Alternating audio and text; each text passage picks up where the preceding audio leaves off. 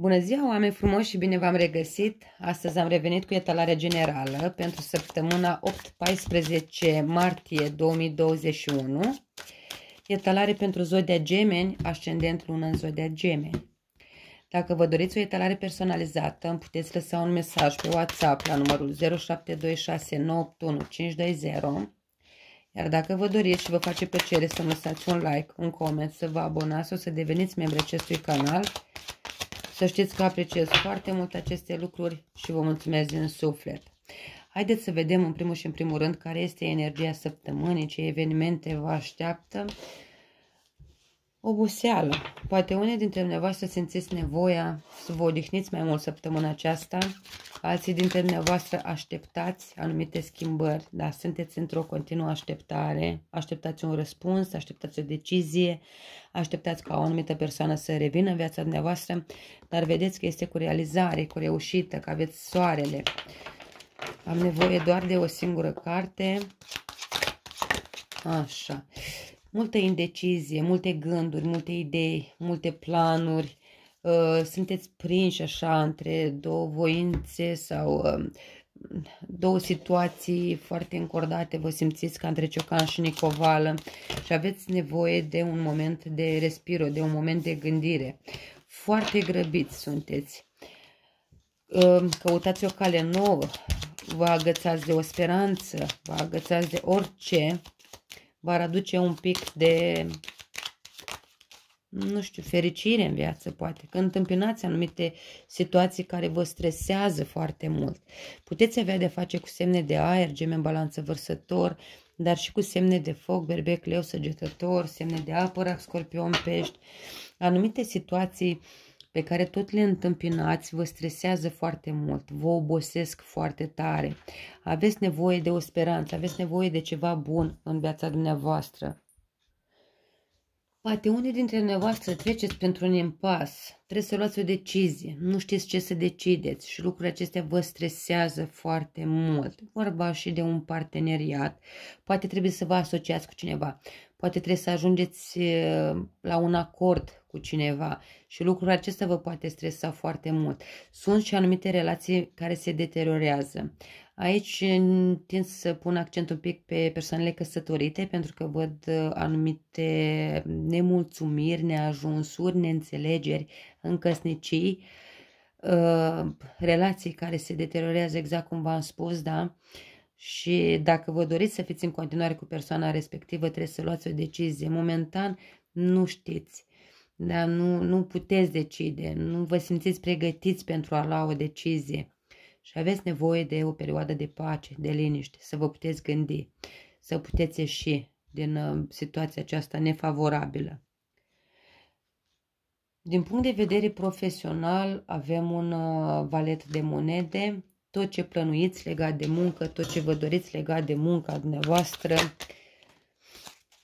veți face astfel încât să duceți totul la realizare.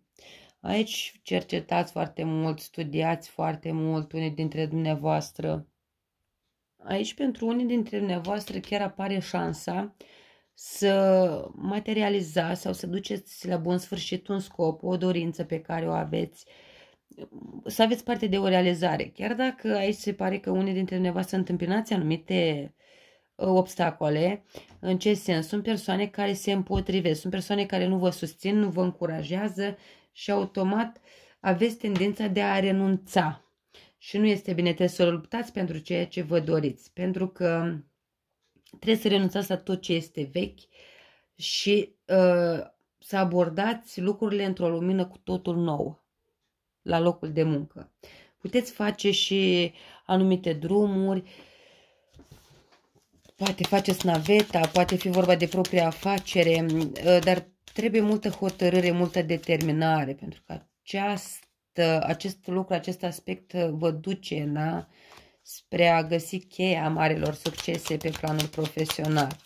Văd că aveți sprijin din partea unei femei, foarte clar, foarte bine pronunțat această femeie, poate fi o persoană de la conducere, puteți fi chiar dumneavoastră în cazul doamnelor, da, care găsiți soluțiile cele mai bune.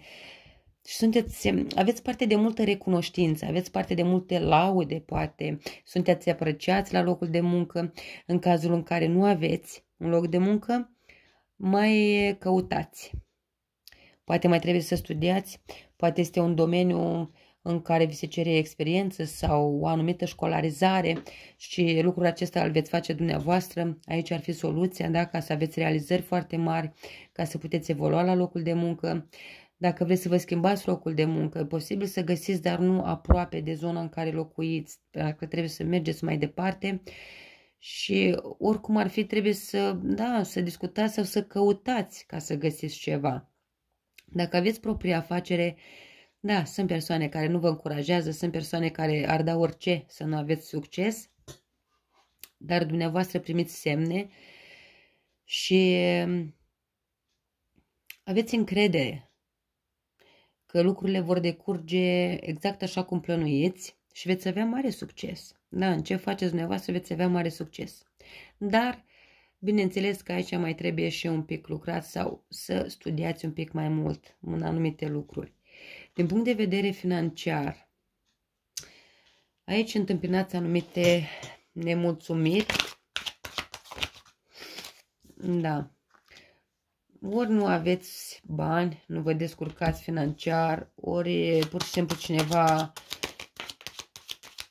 foarte multe gânduri legate de bani. Cred că duce, aveți parte de o săptămână care vă îngrijorează din punctul acesta de vedere.